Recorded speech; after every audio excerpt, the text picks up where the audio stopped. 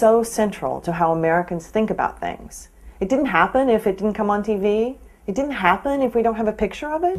Where do these images come from? What is the relationship between these images and American foreign policy in the Middle East? We've had a history of denigrating and bestializing the Prophet Muhammad, Islam, and Arabs as a people.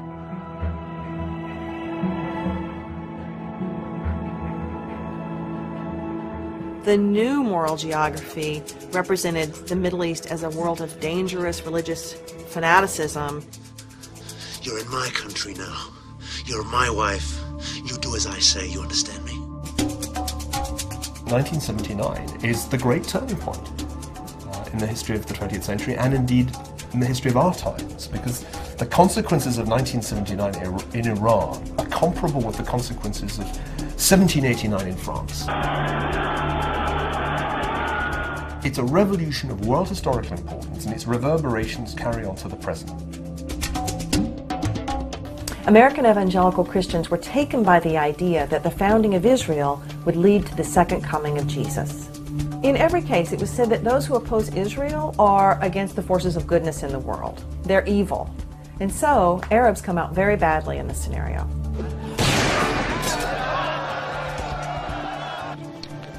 I just wanted you to know that I'm a Jew.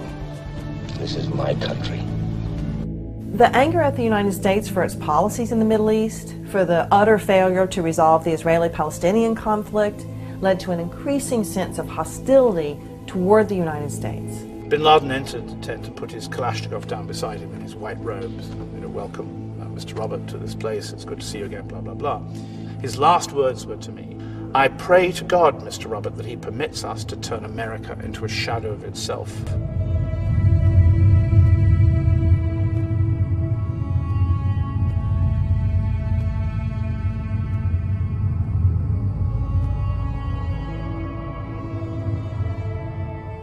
I don't know if all history changed, but it certainly made the identification of the alien others really, really simple.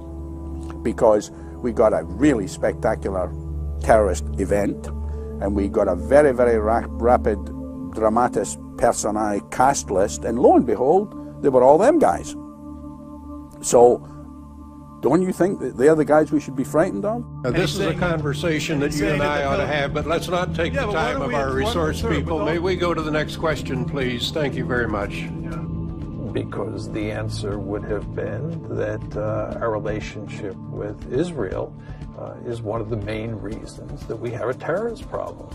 And the Israel lobby does not want that message to get out to the American people because it would then force Washington to change its policies towards Israel. There's often sometimes there's sometimes a gutlessness that we don't want to like push the boundaries of what what can be written or what can't be written, and that, to me that's the that's the problem. So over and over again, you see what you do is you you change and diminish the language of the conflict. The wall becomes the fence or the barrier. The occupation zone becomes the security zone. The occupied territories becomes disputed territories. Um, settlements become neighborhoods. And so we make the Middle East unintelligible for people who don't live there or visit there. And then I went to the ticket counter and I wanted the guy to know whose side I was on, so I caught myself enunciating English like never before. I wanted him to know. I was like, hello, my fellow American. How are you? Yes, I'm here to board the aeroplane. Carry-ons? Just this American flag, that's all I'm carrying on.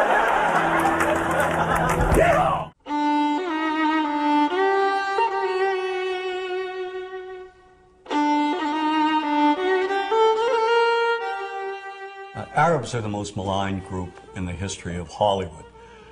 They're portrayed basically as subhumans. Untermenschen, a term used by Nazis to vilify gypsies and Jews. These images have been with us for more than a century.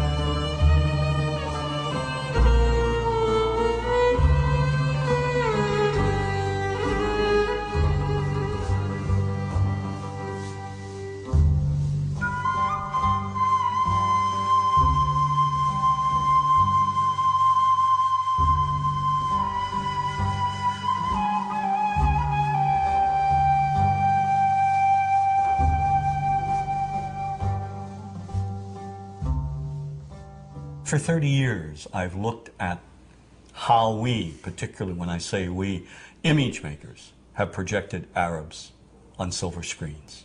In my latest book, Reel Bad Arabs How Hollywood Vilifies a People, I looked at more than 1,000 films. Films ranging from the earliest, most obscure days of Hollywood to today's biggest blockbuster.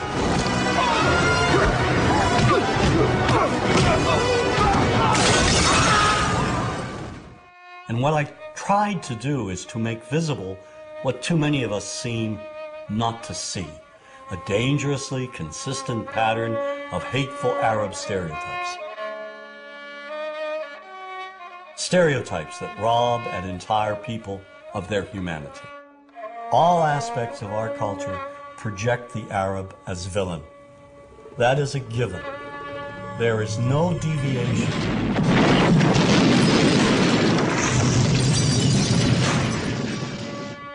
Have taken a few structured images and repeated them over and over again. You are hostages of the Holy Freedom Party. Whether one lives in Paducah, Kentucky, or Wood River, Illinois, we know basically the same thing. Listen to the sound Jesus. of our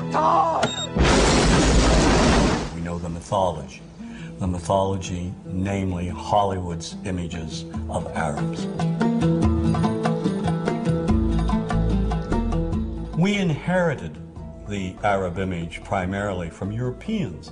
In, in the early days, you know, maybe 150 years, 200 years ago, the British and the French who traveled to the Middle East, and those who didn't travel to the Middle East, conjured up these images of, of the Arab as the Oriental other. The travel writers, the artists who fabricated these images and who were very successful, as a matter of fact. And these images were transmitted and inherited by us. We took them, we embellished them, and here they are. When you cross the mountains of the moon into our country, Mr. Tyrone, you will be stepping back 2,000 years. We have this fictional setting called Arabland, a mythical theme park. And in Arabland, you know, you have the ominous music, you have the desert. We start with the desert, always the desert as a threatening place. We add an oasis, palm trees, a palace that has a torture chamber in the basement. The pasha sits there on his, you know, posh cushions with harem maidens surrounding him. None of the harem maidens please him, so they abduct the blonde heroine from the west who doesn't want to be seduced. When we visit Arab land, we must be aware of the instant Ali Baba kit. We have, we have the property masters of Hollywood going around and they're cladding the women in see-through pantaloons, belly dancing outfits. They're giving the Arab villains scimitars, you know, these long, long scimitars. We see people riding around on magic carpets, turban charmers programming snakes in and out of baskets. Yesteryear's Arab land is today's Arab land. You are late. A thousand apologies, oh patient one. You have it then. I had to slit a few throats, but I got it. Disney's Aladdin was seen by millions of children worldwide.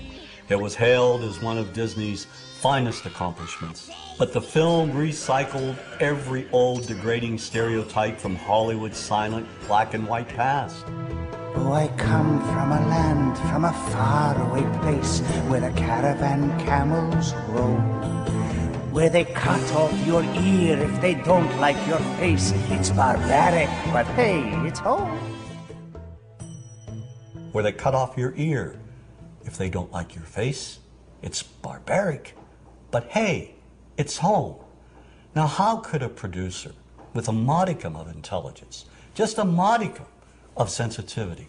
Let a song such as that open the film. But this moves way beyond one song. You must be hungry. Here you go. You'd better be able to pay for that. Do you know what the penalty is for stealing? No! No, please! The Arab is one dimensional caricature, cartoon cutouts used by filmmakers as stock villains and as comic relief. And so over and over we see Arabs in movies portrayed as buffoons, their only purpose being to deliver cheap laughs.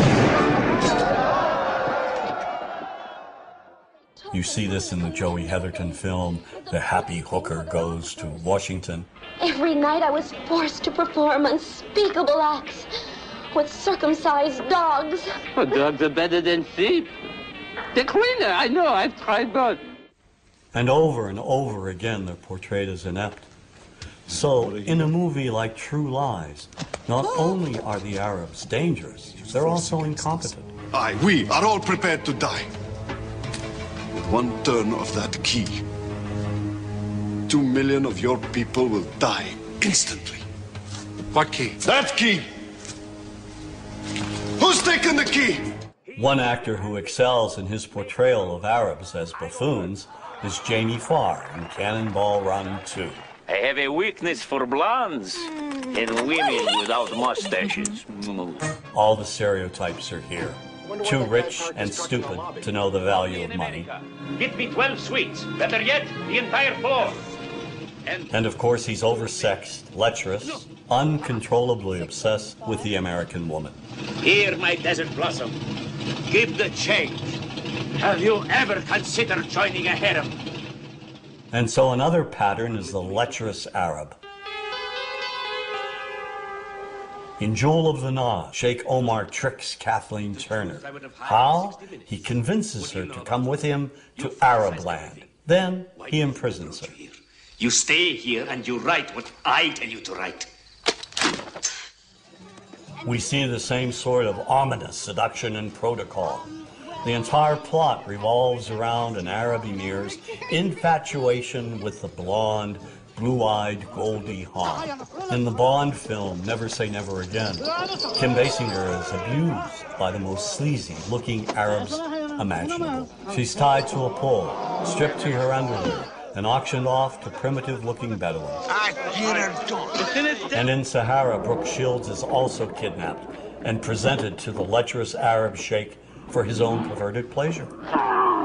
Get away from me, you dirty thief! More than 300 movies, nearly 25% of all Hollywood movies that in one way or another demean Arabs contain gratuitous slurs or they portray Arabs as being the butt of a cheap joke. We were going in a Mecca scene, and the plane is full of Arabs with these animals goats, sheep, chickens.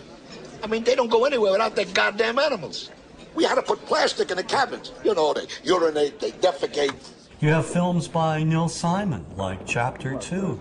The beginning of the film, the protagonist arrives back from London, and, and his brother says, How was London?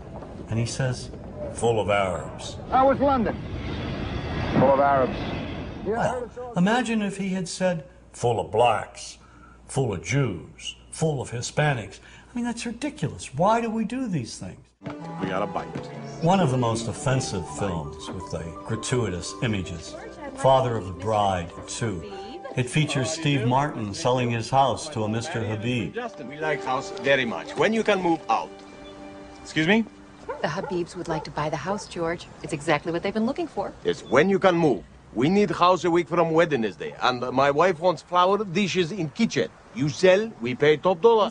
When Habib's submissive wife tries to speak, he shouts gibberish at her.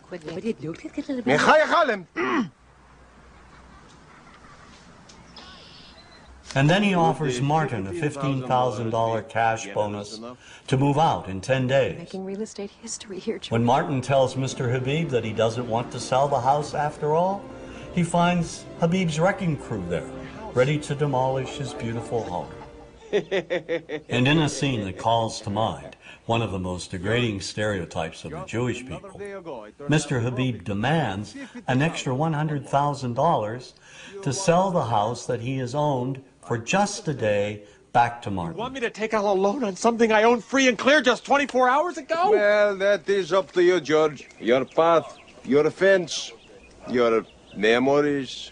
Now, if you looked at the other Father of the Bride films, Elizabeth Taylor, Spencer Tracy, there were no Arabs or Arab Americans. So why does Disney inject these horrific, sort of offensive characters in Father of the Bride Part 2? It's the same reason that in Gladiator, the slave traders who kidnap Russell Crowe and bring him back to Rome are Arabs. Right. I mean, this is ridiculous. I mean, why does Hollywood inject Arabs, scenes of Arabs, and or slurs demeaning Arabs in movies having nothing to do with the Middle East? So you're sitting like I am, for example, watching Back to the Future Oh my God. about a mad scientist. And yet, early on in the film, we see these ugly, inept Libyans with machine guns in a parking lot trying to gun down the protagonist. I mean, why?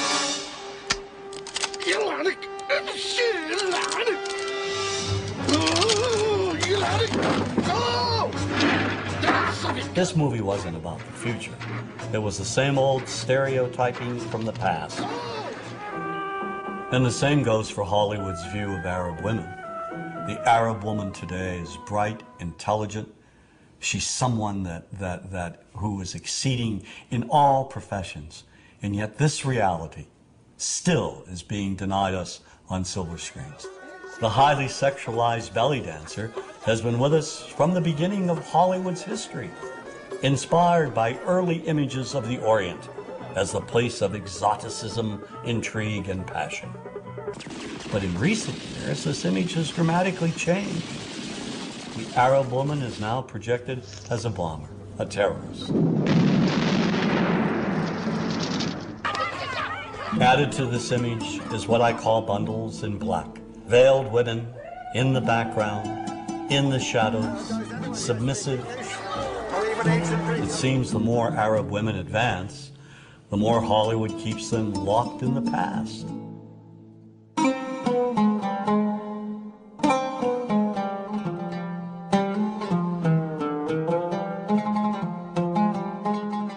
Politics and Hollywood's images are linked. They reinforce one another. Policy enforces mythical images. Mythical images help enforce policy. Jack Valenti, president of the Motion Picture Association of America, has said, quote, Washington and Hollywood spring from the same DNA, end quote. The Arab image began to, to change immediately after World War II. There were three things that impacted the change. The Palestinian-Israeli conflict, in which the United States has unequivocally supported Israel. The Arab oil embargo in the 70s, which angered Americans when gas prices went through the ceiling. And the Iranian Revolution, which increased Arab-American tensions when Iranian students took American diplomats hostage for more than a year. These three pivotal events brought the Middle East into the living rooms of Americans, and together helped shape the way movies stereotyped Arabs and the Arab world. One of the primary changes, the image of the Sheikh. In a movie such as Rollover, he's out to take over the world with his money, or he's up to no good trying to buy chunks of America. Mrs. Winters, I think I should tell you there are those in the family who do not think we should be making this offer at all.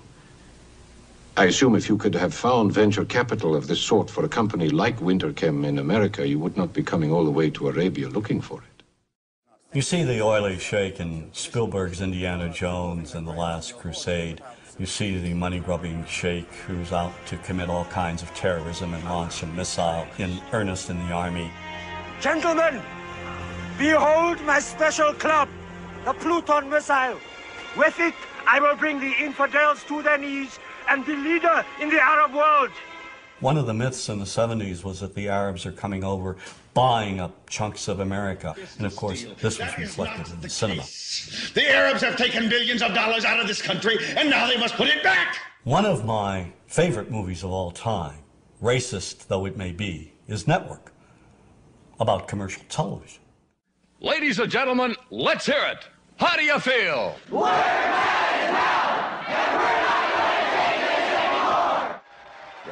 Network features a TV anchor rising to superstardom. How? He unleashes wild rants against the system on the air. But he directs the angriest of all his rants at Arabs, who he says are buying up America. They're buying it for the Saudi Arabian Investment Corporation. They're buying it for the Arabs. The anchor, Howard Beale, calls on the American people to rise up and stop the Arab buyout of his TV network. Listen to me, goddammit. The Arabs are simply buying us. There's only one thing that can stop them. You. The rage of Americans in response became one of the most famous scenes in movie history. I want you to get up out of your chairs. I want you to get up right now and write a telegram to President Ford saying, I'm as mad as hell and I'm not going to take this anymore.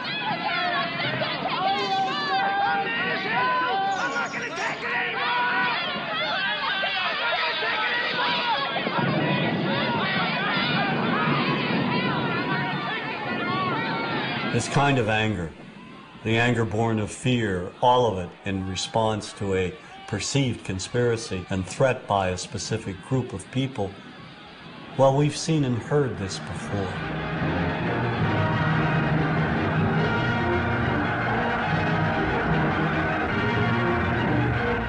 If we look at the anti Semitic propaganda of the Nazis, at its core is an identical type of economic threat. This economic myth even made its way into children's books. Sadly, the popular image of Jews in Nazi propaganda resembles the popular image of Arabs in some of our most beloved Hollywood movies. The only difference being that the Arab usually wears a robe and headdress.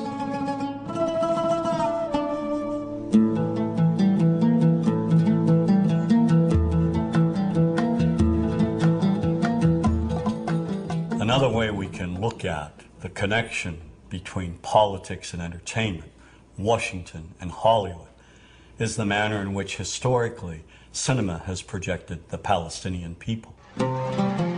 Since the founding of the State of Israel in 1948, our support has never wavered. Every American administration has made it clear whose side we're on. In contrast, Washington's policymakers have failed to support the millions of Palestinians who have been made refugees and who have lived lives of poverty and squalor as a result, while policies impact opinions. So equally unjust is how Hollywood has presented the conflict. Movies repeatedly depict Palestinians as terrorists, making it seem that all Palestinians are evil. Made in America, Colonel.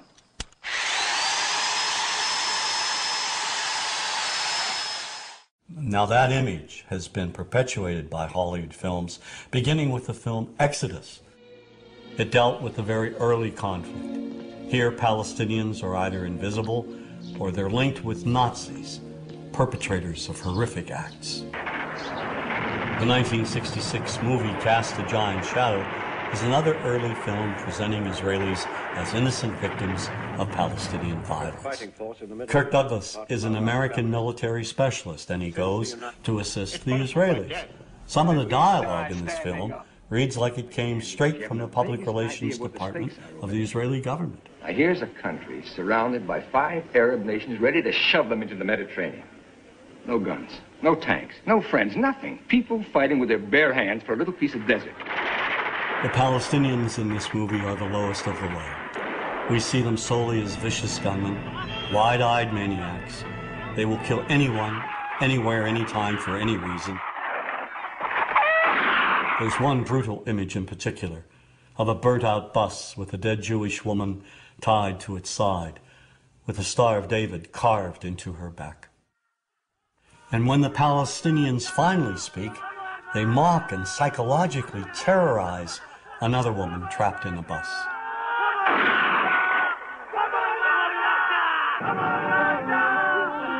Well, if we jump forward a decade to the film Black Sunday, the Palestinian terrorist is now a woman. Striking where it hurts them most, where they feel most at home. She flies the Goodyear blimp into a Miami stadium and tries to wipe out 80,000 Americans at the Super Bowl. She cold-bloodedly eliminates anyone in her path.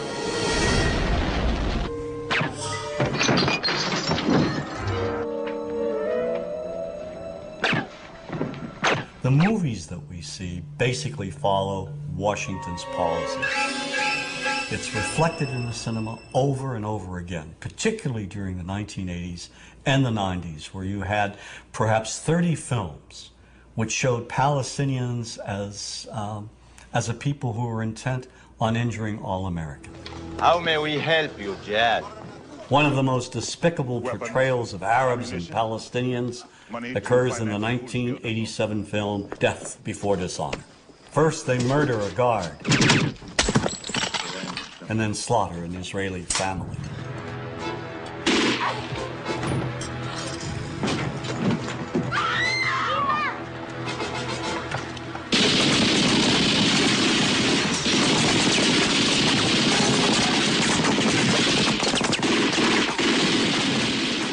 They kidnap and torture an American Marine, and in cold blood execute another.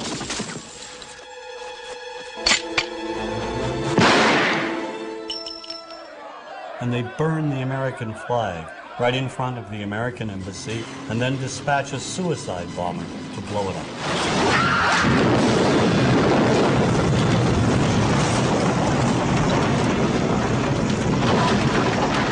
One reason we've not been allowed to empathize with any Palestinian uh, on, on, on the silver screen is, is due to two Israeli producers, Menachem Golan and Yoram Globus.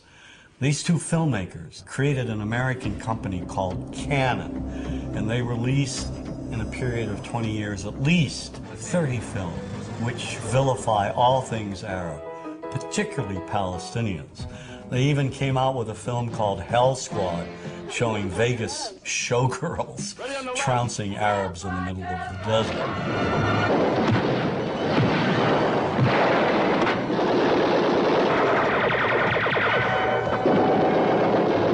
I think the most effective film they've ever done, one of the most popular and most racist, is The Delta Force. Here, Palestinians hijack a plane and terrorize the passengers, especially the Jewish ones. Pick out the passport with Jewish names.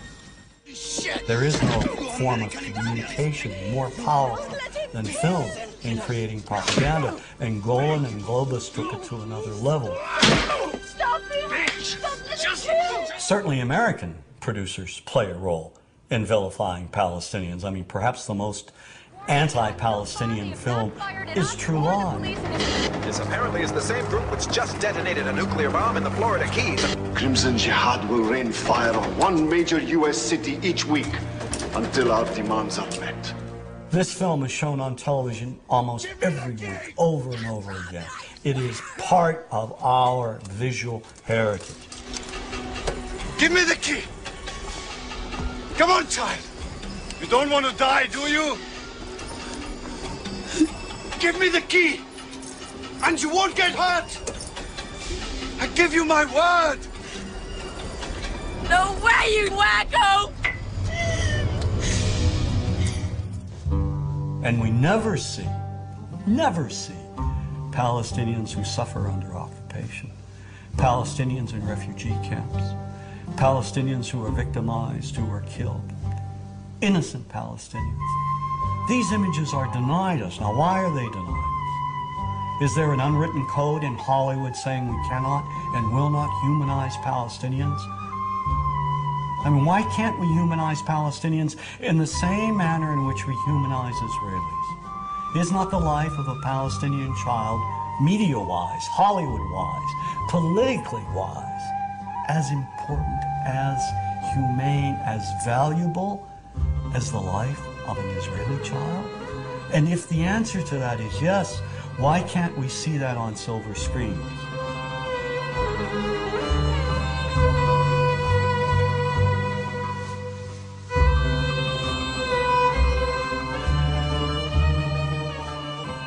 To solidify Washington's connection with Hollywood, simply look at the films produced in cooperation with the Department of Defense showing our men and women in the armed forces killing Arabs at random. Like Iron Eagle, where a teenager goes over and bombs up an Arab country. You know, just learns how to fly a jet overnight.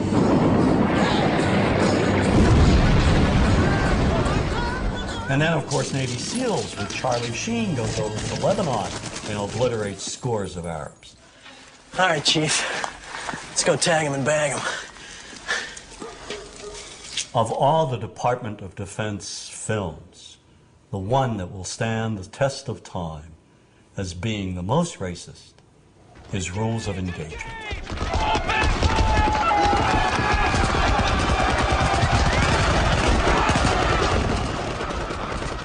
The film was written by former Secretary of the Navy, James Webb. The action takes place in Yemen, a real country in the Middle East. There are violent demonstrations at the American Embassy, and the Marines, led by Samuel L. Jackson, they're called in to evacuate the American employees. And as they try to do so, the Marines open fire on the crowd and kill scores of Yemenis, including women and children. And in the investigation that follows, Tommy Lee Jones, the lawyer who represents the Samuel Jackson character, goes to Yemen to investigate. The movie leads us to believe what seems obvious that the Marines committed this atrocity. Armed American Marines, they were shooting at his people. They were just trying to defend themselves. During his investigation, Jones's character sees a little girl with only one leg. He follows her, comes upon a hospital ward full of civilian victims. He finds an audio tape by the bed of one of the victims. And when the tape gets translated in court, we immediately begin changing our minds about who is responsible for this massacre. to kill Americans and their allies, both civil and military, is duty of every Muslim who is able. We discover that the Yemeni civilians aren't so innocent after all. It turns out they fired on the Marines first. And in a moment that will live in Hollywood infamy, we suddenly learn that the little girl we've been sympathizing with, the very girl whose humanity and innocence may have broken down our stereotypes, well, she's no better than those other Yemeni terrorists. As a result, when Samuel L. Jackson delivers the key line, Where's the motherfuckers? we're now on his side.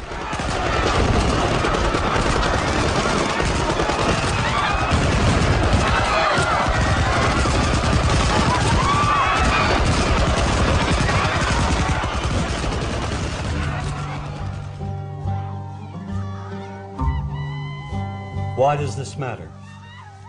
Because in the end, the massacre of even women and children has been justified and applauded. It's a slaughter, yes, but it's a righteous slaughter. Sergeant Mack. Sir? Contact all stations. Mission complete. The humanity is not there. And if we cannot see the Arab humanity, what's left?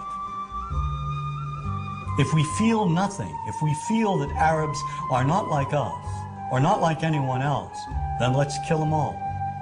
Then they deserve to die, right?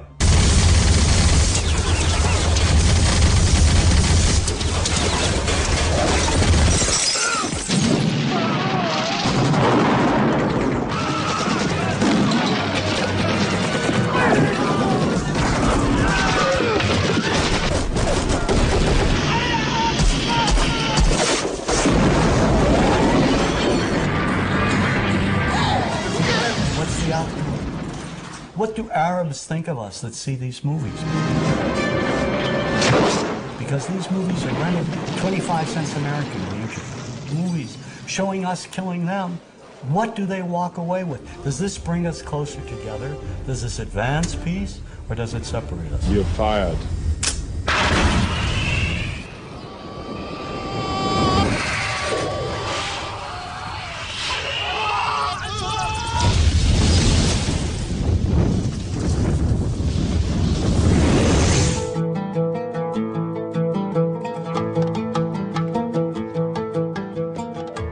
Islamophobia now is a part of our psyche.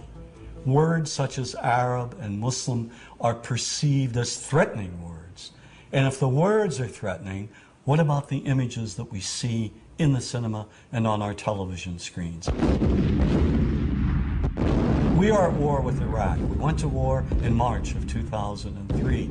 But didn't our entrance to the war, wasn't that made a lot easier, primarily because for more than a century we had been vilifying all things Arab? And now, given what happened with 9 11, the tragic events that took place on that day, where 19 Arab Muslim terrorists were responsible for the deaths of nearly 3,000 people. Now, instead of saying that's the lunatic fringe, we say, no, no, no, no. The actions reflect the actions of 1.3 billion people. Now, that's dangerous. We don't say that the actions of Ku Klux Klan members, who are Christians, represent Christianity, do we? Look at Oklahoma City. Timothy McVeigh, a good Irish Catholic boy. Do we say all Irish Catholics are terrorists? I no one knew McVeigh's religious beliefs, where he went to church, or his ethnic background. It was not part of the story. Yet, of course, had that been an American with Arab roots or an American Muslim, it would have been a part of the story. Remember that when news of the bombing broke, reporters and politicians, nearly everybody, rushed to judgment without any proof whatsoever. A U.S. government source told CBS News that it has Middle East terrorism written all over it. The attack in Oklahoma City appears to have a familiar mark. This was done with the attempt to inflict as many casualties as possible. That is a Middle Eastern trait. The fact that it was such a powerful bomb in Oklahoma City immediately drew investigators to consider deadly parallels that all have roots in the Middle East. ABC News has learned that the FBI has asked the U.S. military to provide up to 10 Arabic speakers to help in the investigation. The stereotype has become so widespread that it's become invisible to people. And the reason being is that we've all grown up with these images. Just look at television. We now have TV shows telling us that, in addition to the Arab terrorists over there, American Arabs over here are also terrorists. then there's Showtime's Sleeper Cell. Here, a sinister network of Islamic groups operates on American street corners. Any homeless man could be part of this network. Even Western looking Arabs are part of this anti American conspiracy. We're at war with America, period. And we're going to win that war by convincing enough Americans through the spread of fear, insecurity, and terror to change their ways. And the best way to teach that lesson is by attacking them where they live, work, and play. And this paranoia runs deep. Just take a moment and flip through some of our most popular religious channels. Islam, a religion of 2 billion members that's growing by 50 million people annually. Nearly every major terrorist network in the world is led by Islamic fundamentalists. Islam is, as we have seen, a religion that teaches the violent subjugation of all non Muslims. It promises paradise to terrorists and makes the vilest deed a thing of beauty in the eyes of Allah. So, when innocent Arabs are killed, when they're bombed, maimed, wounded, when they're tortured in places like Abu Ghraib, is it really any surprise that we don't feel any compassion? Or worse, make light of it? This is no different than what happens at the Skull and Bones initiation, and we're going to ruin people's lives over it, and we're going to hamper our military effort. You ever heard of emotional release? You ever heard of need to blow some steam off? Well, yeah, sort of, sort of like uh, hazing, a, a fraternity prank, uh, sort of like that kind of fun. But the point is, you know, everybody's been saying that this came from we don't the top. care about them. We've been preconditioned to think that those innocent civilians, clones of Al Qaeda and Saddam Hussein, are one and the same and do not merit our sympathy, our understanding. And that's very dangerous. According to the FBI, hate crimes in America targeting Muslims or people who just appear to be Middle Eastern surged in the aftermath of 9 11. Since 9 11, if you are an Arab American or a Muslim American and you go to an airport, you, you, you're automatically profiled. Uh, numerous thousands of Muslim Americans were rounded up and detained without due process. Many people, particularly immigrants, lost their jobs. This college student who asked not to be identified says a recent meeting with police left him feeling like a criminal. And I was just very scared, anxious, nervous, and I just wanted to get it over with.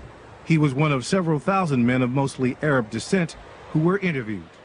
So there is this cloud, you know, with the hate crimes, with the profiling, with being rounded up.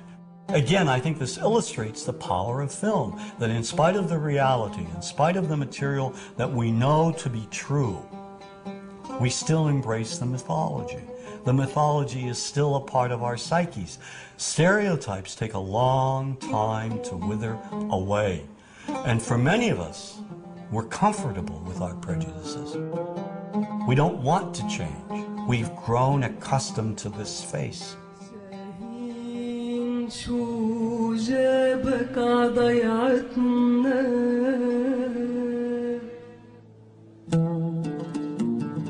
When we think of Arabs, what do we see? What images come to mind? Do we see actual people? People who, despite real cultural or geographical differences, do pretty much the same things that we do. When we think of Arab women, what images come to mind? Do we see women who laugh and play and who adore their children? Women who work in the home as well as outside? Would it come as a surprise to know that in many Arab countries, a majority of college students are actually women? What's our immediate image of Arab men? Do we see loving fathers? Men who want to provide for their families? What about Arab teenagers? Do we see them the, the way you would think about teenagers in other parts of the world? Then there's religion in the Arab world. Do we see it as all encompassing, dominating everything else? Do we know that even though faith plays a huge role in the Arab world, just as it does here in the United States, that it's also true that much of the Arab world is quite secular? When we think of Arabs and religion, does Christianity come to mind? Do we remember that there are over 20 million Christians in the region who have lived side by side in harmony with Muslims for centuries? To their credit, some filmmakers have shown Arabs and American Arabs in all their complexities. An excellent way to shatter a stereotype is through laughter, through comedy. So we have comedians. Comedians have done this historically black comedians, Jewish comedians. So we see Arab comedians doing this, and this is one way to release the tension. Things on a credit card. True story. Guy behind the counter picked up my credit card, sees the olive part, looks at me all weird. He's like, "Hey, buddy, what kind of name is uh, uh that?" I'm like, well, sir, it's an Arabic name. He goes, what, what does this mean? So I'm like, well, well, translate it to English. It means peaceful, friendly Arab. but he's not happy. because, goes, yeah, what Arab country is your family from? So I tried the most peaceful, popular one that he would like. So I'm like, we're from the same Arab country that Aladdin is from. To his credit, Michael Moore in Fahrenheit 9/11 in the DVD includes a scene with this this comedy coming up. My name really is Ahmed Ahmed, and I can't fly anywhere. All you white people have it easy. You guys get to the airport like an hour, two hours before your flight. takes me a month and a half. Security's gotten so bad now I just show up to the airport in a G-string. I'm like, hey, guys up. The character I read for was terrorist number four. Not number one, not number two, number four. And um, and I was already well into my comedy career at this point, so I didn't take it that serious. And I read my lines way over the top. And, uh, you know, I was like, sit down, you will obey, or I'll kill you in the name of Allah, you know, th- stuff like that. And the director went nuts, and he was like, that was brilliant, Ahmed. Let me see you do it again, but this time with more, you know, Arab, you know how your people are very, you know, he's trying to say that we're angry. And I was just like, okay, angry, is that what you want?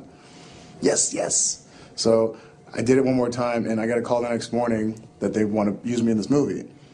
And I started laughing on the phone because I wasn't even like I was making fun of, of the part of the role. I wasn't trying to be like that, and they and that's what they want though. And once we begin to humanize Arabs and Muslims, to project them as we project other people, no better, no worse, then the stereotype gradually diminishes. In movies such as A Perfect Murder, we see an Arab American detective the friend, the heroine. الله يرعى ويخليه الله يخليكي Then there's Three Kings, a movie I served as a consultant on. The action occurs during the first Gulf War in 1991. The film is notable for revealing the complexities of the Iraqi people, focusing on decent Iraqis that Saddam Hussein wants to kill. How's your little girl? She's safe for now. Outstanding, excellent. How can we help you? There's mutual respect in this film. And there's also Iraqis who are loyal to Saddam Hussein. It's not a sugar-coated film. It's a very realistic film. It's an outstanding film, in my opinion. Kingdom of Heaven, which focuses on the Crusades, was a tremendous hit overseas, not here in the United States. And when the film was shown in Beirut, particularly when Salah ad-Din takes over Jerusalem, there's peace between Muslim and Christian. He enters a church and there is an icon on the floor. Salah ad-Din sees the icon, respectfully picks it up, and places it back on the altar. When audiences in Beirut saw that, they rose to their feet and applauded. We're talking about Muslims as well as Christians applauding the act of a Muslim who embraces religious tolerance.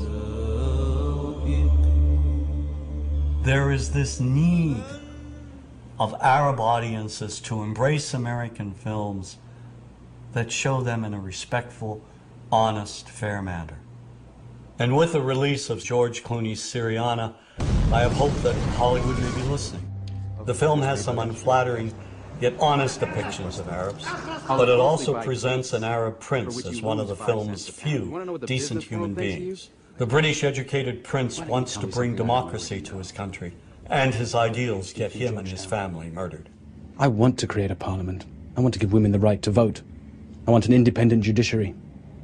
I want to start a petroleum exchange in the Middle East. I'll put all of our energy up for competitive bidding. I'll run pipe through Iran to Europe like you proposed. I'll ship to China. Anything that achieves efficiency and maximizes profit. Profit which I will then use to rebuild my country. Great. That's exactly what you should do. Exactly. Except your president rings my father and says I've got unemployment in Texas, Kansas, Washington State. One phone call later, we're stealing out of our social programs in order to buy overpriced airplanes. Another example of this kind of humanity and respect is found in Hideous Kinky, a film about an English woman, played by Kate Winslet, and her two daughters in Morocco. Winslet's relationship with her Moroccan lover is beautifully and lovingly displayed. And when she doesn't have the money to return home to England with her daughters, he makes hard sacrifices to make it happen. There's a tender and moving scene at the end. The Moroccan catches up with the train they're on to say goodbye, to wish them well. We see the warmth and love that exists between them.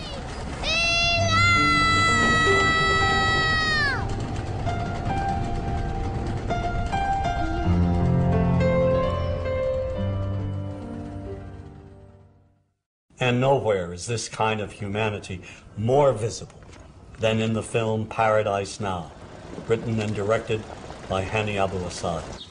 Two Palestinian friends get recruited to carry out a suicide bombing on Tel Aviv. At first, they accept their mission solemnly, but they're intercepted at the Israeli border and separated from their handler. Then a young woman realizes their plan and forces them to question their actions. شو سبكم؟ ليش بتعملوا هيك؟ ما عادش في خيار تاني إذا ما نقدرش نتكافئ بالحياة نتكافئ بالموت إذا عندك القدرة على إنه تموت وتقتل من سنة تكافؤ، ليش بتقويش على إمكانية بالحياة عشان تعيش تكافؤ كمان؟ كيف؟ منظمة حقوق الإنسان تبعتك؟ هاي واحدة من الإمكانيات. هيك ما منعت الإسرائيلي عذر إنهم يضلوا يقتلوا فينا. والله العظيم إنك عنياتك مش حرية بدون كفاح لازم حدا يضحي بحاله طول ما في ظلم واحتلال في تضحية هذا مش تضحية، هذا انتقام. هيك بتقتل وبتصير زيهم.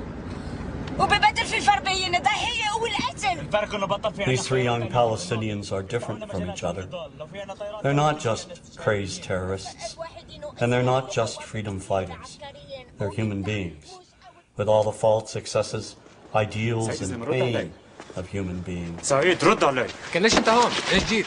عشان اكون معاك تعال نرجع سوا معك مش حيننتصر بهاي الطريقة إحنا نعمل اللي علينا. نجتهد والباقي على الله. بس ربنا قال لك فكر قبل ما تعمل. رايحين نموت ونموت ناس معانا مش راح يتغير ولا إشي. مش موطن راح أغير. تكملة النضال هي راح تغير. أنا ما عنديش خيار تاني على التكملة. إذا ما تغيرش إشي. رد إذا ما تغيرش إشي. I'm an optimist and I believe in the future, particularly in young filmmakers. The stereotype will change. It will change because young men and women who are entering the profession will see that there has been a grave injustice committed and they'll make attempts to correct it. It's only a matter of time as to when this will happen, but it will take place. Look, we've unlearned many of our prejudices against blacks, Native Americans, Jews, other groups. Why can't we unlearn our prejudices against Arabs and Muslims? What matters is not to remain silent. I think whenever we see anyone being vilified on a regular basis, we have to speak out, whether we're image makers or not. We have to take a stand and say this is morally and ethically wrong to demonize